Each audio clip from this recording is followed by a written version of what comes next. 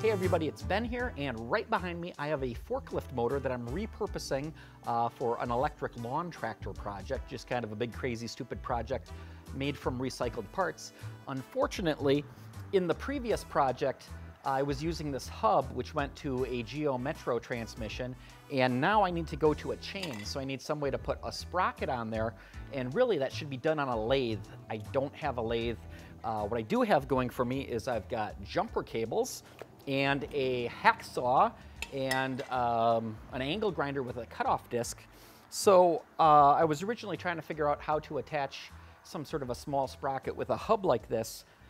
I think what I'm gonna do is I'm gonna use the hacksaw, cut off the extra materials, and I found a sprocket which is not too much smaller on the inside than the hub is. So I'm hoping I can turn this down by putting the entire thing onto the electric motor, spinning it up and using angle grinder, uh, emery cloth, whatever I've got to get it to just the right size so we can put this sprocket on. So let's give it a shot. So first thing was just to slide the coupler onto the shaft of the electric motor. And then I marked it with a file. And I used the jumper cables to connect it to a 12 volt battery. So then the motor spun up and I thought I could just use a hacksaw to uh, just start cutting away on it. Uh, frankly, I didn't expect it to go fast, but it just wasn't too easy to use a hacksaw. Even at 24 volts, it spun really fast, but then it was jumping around. Uh, nothing was holding the hub in position, so what I did is I drilled a hole and tapped it to be able to put a set screw through there. So that was a 1024 hole that I drilled and tapped and here's the set screw that I added in there. You can kind of see it. It's kind of hard to get focus here. Um, but once I had the set screw, then I could just uh, put it back on the shaft, tighten down that set screw, and hopefully this time that hub shouldn't be sliding around on the shaft while I'm trying to cut it. So I kept going, trying to cut it with uh, just the hacksaw. This time I got a little smarter, used a little bit of that, that cutting fluid. Um, I actually did take all the teeth straight off one of these hacksaw blades. So after that, I got a little bit smarter, and I decided that uh, maybe not even lube and a hacksaw blade was good enough. Maybe just the angle grinder with a cutoff disc in it. And I was able to do a significant portion of the cutting here with that cutoff disc. In the end, I did eventually switch back to the hand hacksaw just to finish the cutting. Took a little while, but we got that entire hunk. Don't need that material anymore. But still got to figure out how to get this on there. I cleaned up the end of the hub with the angle grinder, first with a grinding disc and then a flapper disc. And then after that, I cleaned up the other edge just using some emery cloth. Next, I used my micrometer to measure the outside of the hub and then also the inside diameter of the sprocket to see how far off they were. And then I used my flapper disc on my angle grinder to grind it down to pretty much that exact amount. 615. That should be dead on. Yeah, it's really, really close. Okay, so essentially this is what the finished part looks like. It's turned down so I can fit that sprocket on there. Pretty shiny, and I got a set screw right there. So it slides right onto the splined shaft of the motor. If we can, the angle, a little dark in there, hard to see the splines. And I think what I'm gonna do now is put this in the freezer and heat up the sprocket.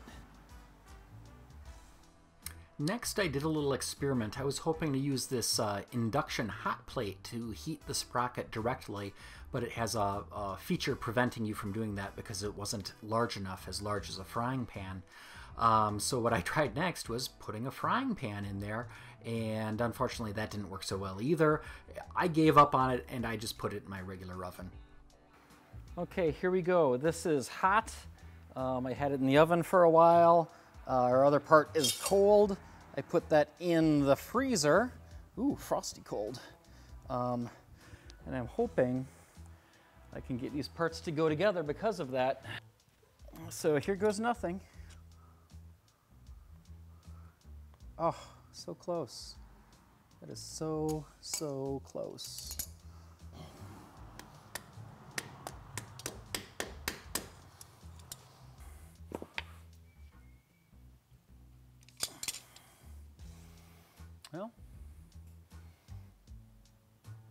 I don't know.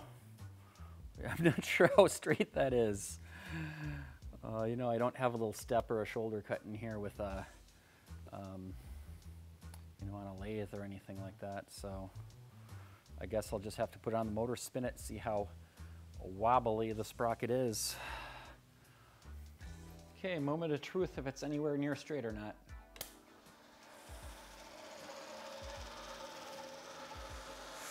I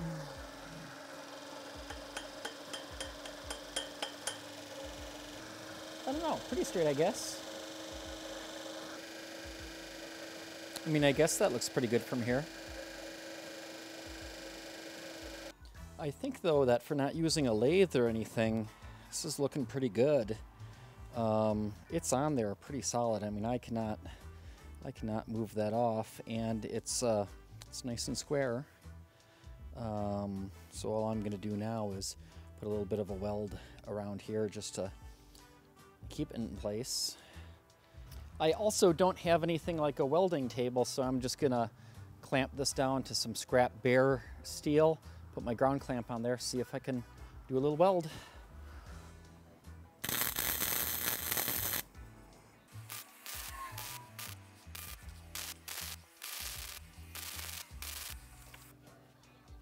Okay, I'm gonna say that that is some ugly welding, but for the junk parade. And it should hold, should be solid. I can always grind it down if I need to. And of course, the other important part of this is just that I didn't get so crazy with the welds that it doesn't fit the chain anymore. Looks like it's just fine on the chain though. Overall, so far, I'm liking this. Um, that set screw right there, though, is a little on the small side. Um, I figured I can always drill a bigger hole. I can't drill a smaller hole. So I uh, set that up so I can still go up to like a quarter 20. And the other thing is just a single set screw. I think I probably want two.